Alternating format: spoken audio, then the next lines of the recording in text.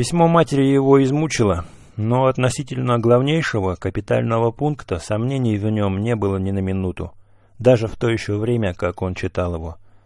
Главнейшая суть дела была решена в его голове и решена окончательно. Не бывать этому браку, пока я жив. И к черту господина Лужина. «Потому что это дело очевидное», — бормотал он про себя, ухмыляясь и злобно торжествуя заранее успех своего решения. «Нет мамаша, нет Дуня. Не обмануть меня вам. И еще извиняются, что моего совета не попросили, и без меня дело решили. Еще бы. Думают, что теперь уж разорвать нельзя. А посмотрим, нельзя или нельзя. Отговорка-то капитальная. Уж такой, дескать, деловой человек Петр Петрович, такой деловой человек, что жениться иначе не может, как на почтовых, чуть не на железной дороге. Нет, Дуня, все вижу и знаю, о чем ты со мной много-то говорить собираешься. Знаю и то, о чем ты всю ночь продумала, ходя по комнате, и о чем молилась перед Казанской Божьей Матерью, которая у мамаши в спальне стоит. На Голгофу-то тяжело всходить. Так, значит, решено окончательно. За делового и рационального человека изволите выходить Авдотья Романовна, имеющего свой капитал. Уже имеющего свой капитал. Это солиднее, внушительнее. Служащего в двух местах и разделяющего убеждения новейших наших поколений, как пишет мамаша, и, кажется, доброго, как замечает Дунечка. Это кажется всего великолепнее, и эта же Дунечка за это же кажется замуж идет. Великолепно. А любопытно, однако ж, для чего мамаша о новейших-то поколениях мне написала. Просто ли для характеристики лица, или с дальнейшей целью задобрить меня в пользу господина Лужина.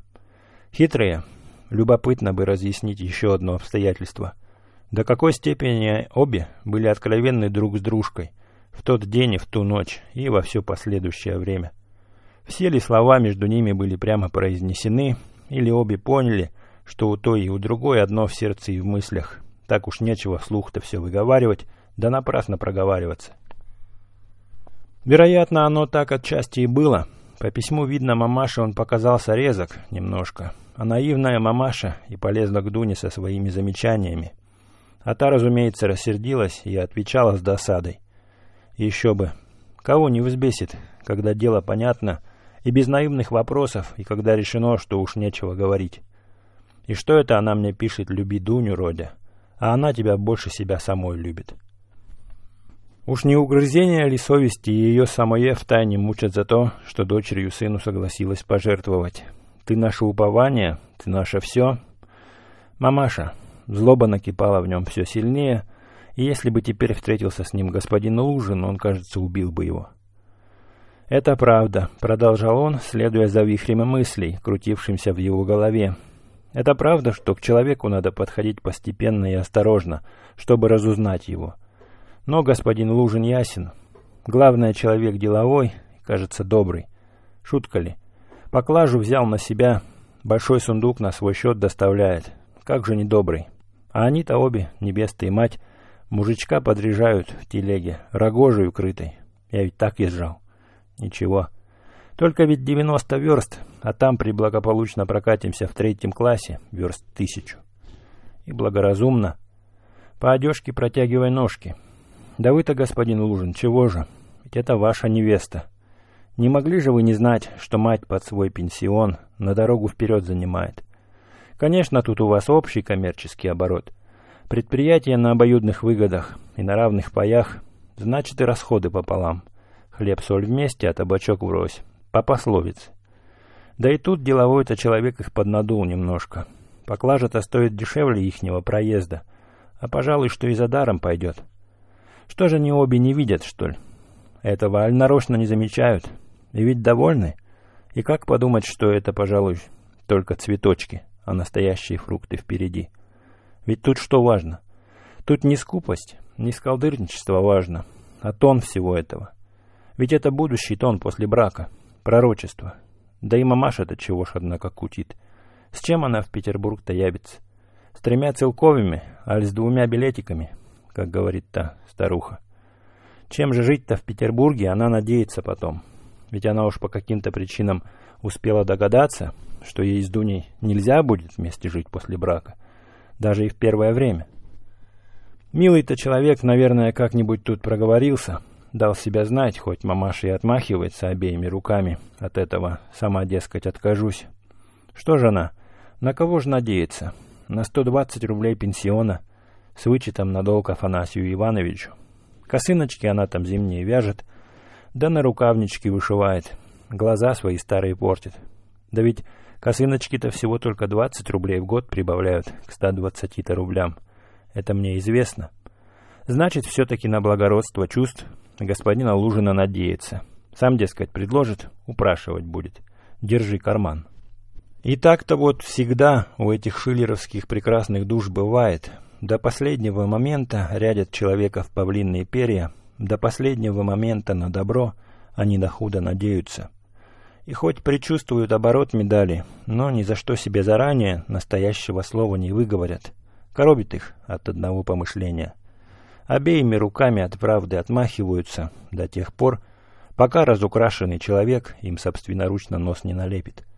А любопытно, есть ли у господина Лужина ордена?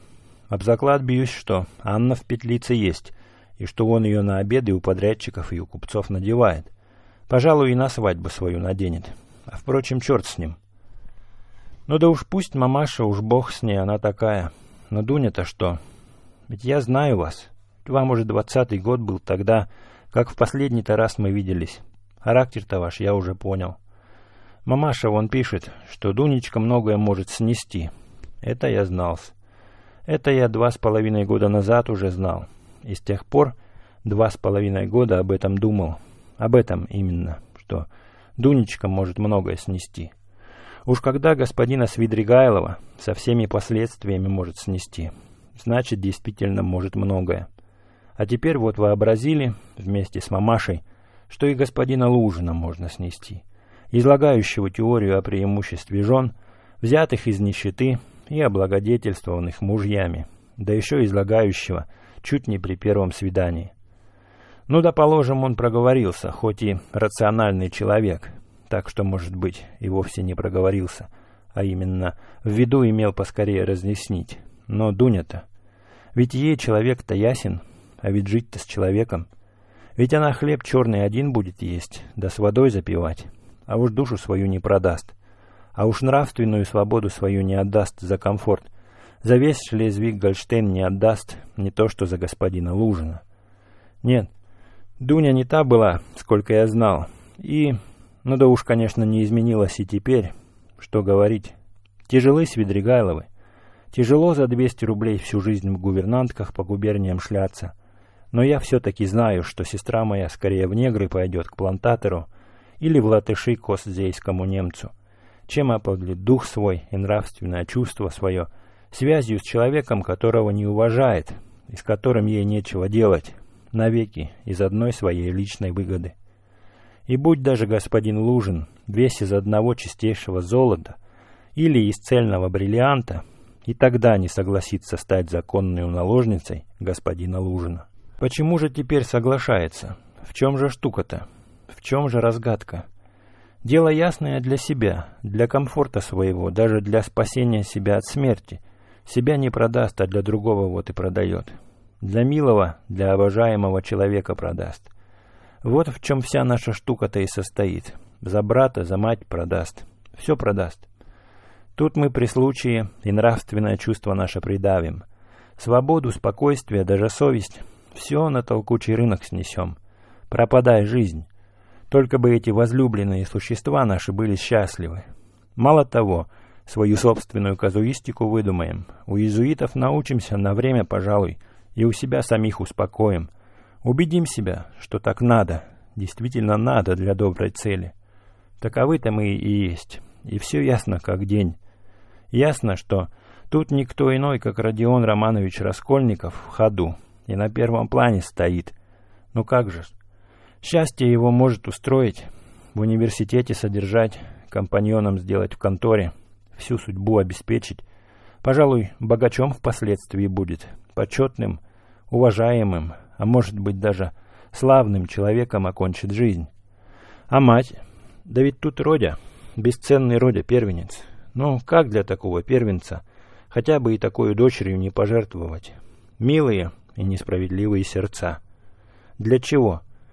Тут мы и от Сонечкина жребия, пожалуй, что не откажемся. Сонечка Мармеладова, вечная, пока мир стоит. Жертву-то вы обе измерили вполне, так ли? Под силу ли? В пользу ли? А разумно ли? Знаете ли вы, Дунечка, что Сонечкин жребий ничем не сквернее жребия с господином Лужиным? Любви тут не может быть, пишет мамаш. А что, если кроме любви-то и уважения не может быть, а напротив уже есть отвращение, презрение, омерзение? Что же тогда? А и выходит тогда, что опять стало быть, чистоту наблюдать придется. Не так, что ли? Понимаете ли, что значит сия чистота? Понимаете ли вы, что лужинская чистота, все равно, что и Сонечкина, может быть даже хуже, гаже, подлее, потому что у вас, Дунечка, все-таки на излишек комфорта расчет, а там просто-запросто о голодной смерти дело идет. Дорого стоит, Дунечка, сия чистота. Ну, если не под силу станет, раскаетесь. Скорби-то сколько. Грусти, проклятий, слез-то скрываемых ото всех сколько, потому что не Марфа же вы, Петровна. А с матерью что тогда будет? Ведь она уже и теперь неспокойно мучается. А тогда, когда все ясно увидит, а со мной... Да что же вы в самом деле обо мне-то подумали? Не хочу я вашей жертвы, Дунечка. Не хочу, мамаша. Не бывать тому, пока я жив, не бывать. Не принимаю. Он вдруг очнулся и остановился. Не бывать? А что же ты сделаешь, чтобы этому не бывать? Запретишь? А право какое имеешь? Что ты им можешь обещать в свою очередь, чтобы право такое иметь? Всю судьбу свою, всю будущность им посвятить, когда кончишь курс и место достанешь. Слышали мы это? Да ведь это буки. А теперь... Ведь тут надо теперь что-нибудь сделать, понимаешь? А ты что теперь делаешь? Обираешь их же. Ведь деньги-то им под сторублевый пенсион, да под господ Свидригайловых под заклад достаются. От Свидригайловых-то, от Афанасия-то Ивановича Вахрушина, чем ты их убережешь, миллионер будущий, их судьбою располагающий? Через десять-то лет. Да в десять-то лет мать успеет ослепнуть от косынок, а пожалуй, что и от слез. От поста исчахнет, а сестра... Ну, придумай-ка, что может быть с сестрой через десять лет, али в эти десять лет? Догадался? Так мучил он себя и подразнивал этими вопросами, даже с каким-то наслаждением. Впрочем, все эти вопросы были не новые, не внезапные, а старые, наболевшие и давнишние. Давно уже, как они начали его терзать и истерзали ему сердце. Давным-давно, как зародилась в нем вся эта теперешняя тоска. Нарастала, накоплялась и в последнее время созрела и концентрировалась, приняв форму ужасного – дикого и фантастического вопроса, который замучил его сердце и ум, неотразимо требуя разрешения. Теперь же письмо матери вдруг как громом в него ударило. Ясно, что теперь надо было не тосковать, не страдать пассивно одними рассуждениями о том, что вопросы неразрешимы, а непременно что-нибудь сделать, и сейчас же, и поскорее. Во что бы то ни стало, надо решиться, хоть на что-нибудь. Или отказаться от жизни совсем, вскричал он вдруг в выступлении, послушно принять судьбу, как она есть, раз навсегда, и задушить в себе все, отказавшись от всякого права действовать, жить и любить.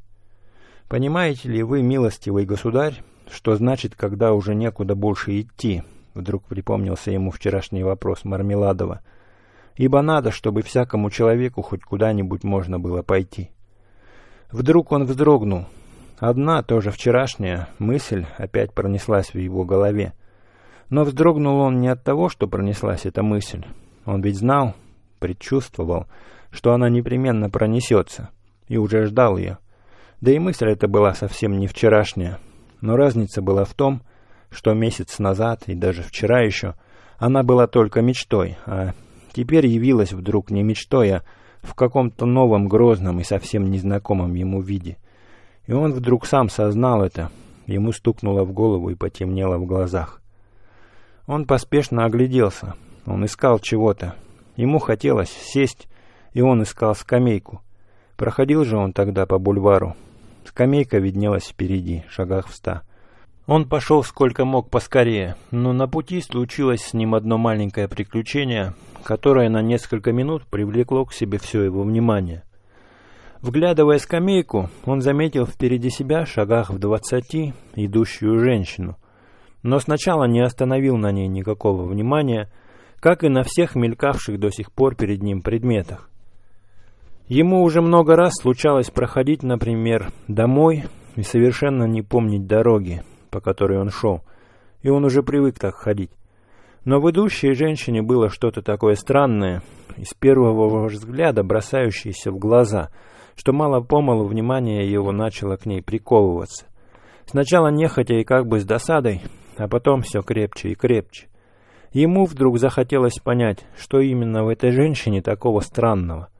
Во-первых, она должно быть девушка очень молоденькая, шла по такому зною простоволосая, без зонтика и без перчаток, как-то смешно размахивая руками. На ней было шелковое, из легкой материи, матерчатое, платьице, но тоже как-то очень чудно надетое, едва застегнутое сзади у талии, в самом начале юбки, разорванное. Целый клок отставал и висел, болтаясь. Маленькая косыночка была накинута на обнаженную шею, но торчала как-то криво и боком. К довершению девушка шла не твердо, спотыкаясь и даже шатаясь во все стороны. Эта встреча возбудила, наконец, все внимание Раскольникова. Он сошелся с девушкой у самой скамейки, но, дойдя до скамьи, она так и повалилась на нее в угол, закинула на спинку скамейки голову и закрыла глаза, по-видимому, от чрезвычайного утомления. Вглядевшись в нее, он тотчас же догадался, что она совсем была пьяна. Странно и дико было смотреть на такое явление. Он даже подумал, не ошибается ли он. Перед ним было чрезвычайно молоденькое личико. Лет шестнадцати. Даже, может быть, только пятнадцати. Маленькая, белокуренькая. Хорошенькая, но все разгоревшаяся и как будто припухшая. Девушка, кажется, очень уж мало понимала. Одну ногу заложила за другую, причем выставила ее гораздо больше, чем следовало, и по всем признакам очень плохо сознавала, что она на улице. Раскольников не сел и уйти не хотел, а стоял перед нею в недоумении. Этот бульвар всегда стоит пустынный, теперь же во втором часу и в такой зной никого почти не было. Однако же в стороне, шагах в пятнадцати, на краю бульвара, остановился один господин, которому по всему видно было, очень бы хотелось тоже подойти к девочке с какими-то целями. Он тоже, вероятно, увидел ее издали и догонял, но ему помешал Раскольников.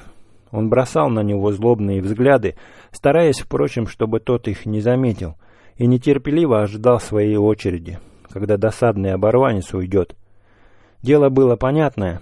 Господин этот был лет тридцати, плотный, жирный, кровь с молоком, с розовыми губами и с усиками, и очень щеголевато одетый. Раскольников ужасно разозлился. Ему вдруг захотелось как-нибудь оскорбить этого жирного франта. Он на минуту оставил девочку и подошел к господину. «Эй вы, Свидригайлов, вам чего тут надо?» — крикнул он, сжимая кулаки и смеясь своими запенившимися от злобы губами.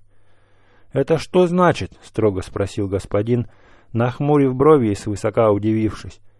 «Убирайтесь, вот что». «Да как ты смеешь, каналья?» И он взмахнул хлыстом. Раскольников бросился на него с кулаками, не рассчитав даже и того, что плотный господин мог управиться и с двумя такими, как он. Но в эту минуту кто-то крепко схватил его сзади, и между ними стал городовой. «Полно, господа, не извольте драться в публичных местах. Вам чего надо? Кто таков?» Строго обратился он к Раскольникову, разглядев его лохмотья.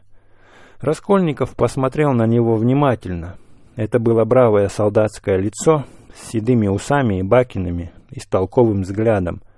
«Вас там не и надо!» — крикнул он, хватая его за руку. «Я бывший студент Раскольников. Это и вам можно узнать», — обратился он к господину. «А вы пойдемте-ка, я вам кое-что покажу». И, схватив городового за руку, он потащил его к скамейке. «Вот смотрите, совсем пьяная. Сейчас шла по бульвару. Кто ее знает из каких? Они похожи, чтобы по ремеслу. Вернее же всего где-нибудь напоили и обманули. В первый раз. Понимаете? Да так и пустили на улицу. Посмотрите, как разорвано платье. Посмотрите, как надето. Ведь ее одевали, а не сама она одевалась. Да и одевали-то неумелые руки, мужские, это видно. А теперь вот посмотрите сюда. Этот Франц, с которым я сейчас драться хотел, мне не знаком. Первый раз вижу. Но он ее тоже отметил дорогой, сейчас пьяную-то, себя не помнящую. И ему ужасно теперь хочется подойти и перехватить ее, так как она в таком состоянии, завести куда-нибудь. И уж это, наверное, так. Уж поверьте, что я не ошибаюсь. Я сам видел, как он за ней наблюдал и следил, только я ему помешал и он теперь все ждет, когда я уйду. Вот он теперь отошел маленько и стоит, будто папироску свертывает. Как бы нам ему не дать? Как бы нам ее домой отправить, подумайте-ка. Городовой мигом все понял и сообразил. Толстый господин был, конечно, понятен. Оставалась девочка. Служивый нагнулся над нею, разглядеть поближе. И искреннее сострадание изобразилось в его чертах. «Ах, как жаль-то», — сказал он, качая головой совсем еще как ребенок. Обманули это как раз. «Послушайте, сударыня», — начал он звать ее, — «где изволите проживать?» Девушка открыла усталые и посоловелые глаза, тупо посмотрела на допрашивающих и отмахнулась рукой. «Послушайте», — сказал Раскольников, — «вот». Он пошарил в кармане и вытащил двадцать копеек. «Вот возьмите извозчика и велите ему доставить по адресу. Только бы адрес-то нам узнать. Барышня, «Барышня», — начал опять городовой, приняв деньги, — «я сейчас извозчиком вам возьму и сам вас припровожу. Куда прикажете, а? Где изволите квартировать?» «Пшла, пристают», — пробормотала девочка и опять отмахнулась рукой. «Ах, как нехорошо! Стыдно-то, как барышня!» Он опять закачал головой, сожалея и негодуя. «Ведь вот задача. Обратился он к Раскольникову и тут же мельком опять оглядел его с ног до головы. Странен, верно, он ему показался в таких лохмотьях, а сам деньги удает. «Вы далеко ли отсюда их нашли?» — спросил он его. «Говорю вам, впереди меня шла, шатаясь, тут же на бульваре. Как до скамейки дошла, так и повалилась. Ах, стыд-то какой теперь завелся на свете, господи! Немудреная эко и уже пьяная. Обманули это как есть». Вон и платьица их не разорвано. Ах, как разврат-то но не пошел. А пожалуй, что из благородных будет, из бедных каких. Но немного таких пошло. По виду-то как бы из нежных, словно ведь барышня. И он опять нагнулся над ней. Может, и у него росли такие же дочки, словно как барышни, и из нежных, с замашками благовоспитанных и со всяким перенятым уже модничанием. Главное, хлопотал Раскольников, вот этому подлецу как бы не дать. Ну что же он еще над ней надругается? Наизусть видно, чего ему хочется. Ишь, подлец не отходит.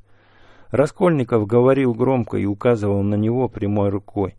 Тот услышал и хотел было опять рассердиться, но одумался и ограничился одним презрительным взглядом. Затем медленно отошел еще шагов десять и опять остановился. «Не дать-то им это можно», — отвечал унтер-офицер в раздумье. «Вот кабы они сказали, куда их предоставить, а то «Барышня! А барышня!» — нагнулся он снова. Та вдруг совсем открыла глаза, посмотрела внимательно, как будто поняла что-то такое. Встала со скамейки и пошла обратно в ту сторону, откуда пришла. «Фу, бесстыдники! Пристают!» — проговорила она еще раз, отмахнувшись. Пошла она скоро, но по-прежнему сильно шатаясь. Франт пошел за нею, но по другой аллее, не спуская с нее глаз. «Не беспокойтесь, не дамс», — решительно сказал усач и отправился вслед за ними. «Эх, разврат-то но не пошел», — повторил он вслух, вздыхая. В эту минуту как будто что-то ужалило Раскольникова. В один миг его как будто перевернуло. «Послушайте! Эй!» — закричал он вслед усачу. Тот оборотился. «Оставьте, чего вам? Бросьте ее, пусть позабавится», — он указал на Франта. «Вам-то чего?» Городовой не понимал и смотрел во все глаза. Раскольников засмеялся. «Эх», — проговорил служивый, махнув рукой и пошел вслед за Франтом и за девочкой, вероятно, приняв Раскольникова или за помешанного, или за что-нибудь еще хуже. «Двадцать копеек мои унес», — злобно проговорил Раскольников, оставшись один. «Ну и пусть из того тоже возьмет, да и отпустит с ним девочку. Тем и кончится. И чего я ввязался тут помогать? Но мне ли помогать? Имею ли я право помогать? Да пусть их переглотают друг друга живьем. Мне-то чего? И как я смел отдать эти двадцать копеек? Разве они мои? Несмотря на эти странные слова, ему стало очень тяжело. Он присел на оставленную скамью. Мысли его были рассеяны. Да и вообще тяжело ему было думать в эту минуту о чем бы то ни было. Он бы хотел совсем забыться, все забыть, потом проснуться и начать с изного. «Бедная девочка», — сказал он, посмотрев в опустевший угол скамьи. «Очнется, поплачет, потом мать узнает. Сначала прибьет, а потом высечет, больно и с позором, пожалуй, и изгонит. А не сгонит, так все-таки пронюхают Дарьи Францевны, и начнет шмыгать моя девочка туда да сюда. Потом тотчас больница, и это всегда у тех, которые у матерей живут очень честных и тихонько от них пошаливают. Ну а там, а там опять больница, вино, кабаки и еще больница. Года через два-три калека, и того житья ее девятнадцать или восемнадцать лет от роду всего. Разве я таких не видал? А как они делались? Да вот все так и делались. А пусть. Это, говорят, так и следует. Такой процент, говорят, должен уходить каждый год куда-то к черту. Должно быть, чтобы остальных освежать и им не мешать. Процент. Славные право у них эти словечки. Они такие успокоительные, научные. Сказано процент, стало быть, тревожиться нечего. Вот если бы было другое слово, ну тогда было бы, быть может, беспокойнее. А что, коли Дунечка как-нибудь в процент попадет? Не в тот, так в другой. «А куда же я иду?» — подумал он вдруг. «Странно. Я ж зачем-то пошел. Как письмо прочел, так и пошел. На Васильевский остров к Разумихину я пошел вот куда. Теперь помню. Да зачем, однако же? И каким образом мысль идти к Разумихину залетела мне теперь в голову? Это замечательно. Он дивился себе. Разумихин был одним из его прежних товарищей по университету. Замечательно, что Раскольников, быв в университете, почти не имел товарищей. Всех чуждался, никому не ходил и у себя принимал тяжело. Впрочем, и от него скоро все отвернулись. Ни в общих сходках, ни в разговорах, ни в забавах, ни в чем он как-то не принимал участия. Занимался он усиленно, не жалея себя, и за это его уважали, но никто не любил. Был он очень беден, и как-то надменно горд и несообщителен, как будто что-то таил про себя. Иным товарищам его казалось, что он смотрит на них на всех, как на детей, свысока, как будто он всех их опередил и развитием, и знанием, и убеждениями, и что на их убеждения и интересы он смотрит как на что-то низшее.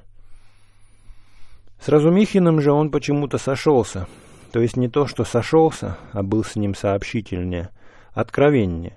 Впрочем, с Разумихиным невозможно было и быть в других отношениях.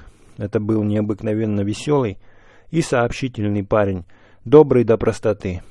Впрочем, под этой простотой таились и глубина, и достоинство. Лучшие из его товарищей понимали это, все любили его. Был он очень не глуп, хотя и действительно иногда простоват. Наружность его была выразительная, высокий, худой, всегда худо выбритый, черноволосый. Иногда он буянил и слыл за силача. Однажды ночью в компании он одним ударом ссадил одного блюстителя вершков двенадцати росту. Пить он мог до бесконечности, но мог и совсем не пить. Иногда проказил даже непозволительно, но мог и совсем не проказить. Разумихин был еще тем замечателен, что никакие неудачи его никогда не смущали, и никакие дурные обстоятельства, казалось, не могли его придавить. Он мог квартировать хоть на крыше, терпеть адский голод и необыкновенный холод. Был он очень беден и решительно сам один содержал себя, добывая кое-какими работами деньги. Он знал бездну источников, где мог почерпнуть, разумеется, заработком. Однажды он целую зиму совсем не топил своей комнаты и утверждал, что это даже приятнее, потому что в холоде лучше спится. В настоящее время он тоже принужден был выйти из университета, но ненадолго. Из всех сил спешил поправить обстоятельства, чтобы можно было продолжать. Раскольников не был у него уже месяца четыре, а Разумихин и не знал даже его квартиры. Раз как-то месяца два тому назад они было встретились на улице. Но Раскольников отвернулся и даже перешел на другую сторону, чтобы тот его не заметил. А Разумихин хоть и заметил, но прошел мимо, не желая тревожить приятеля.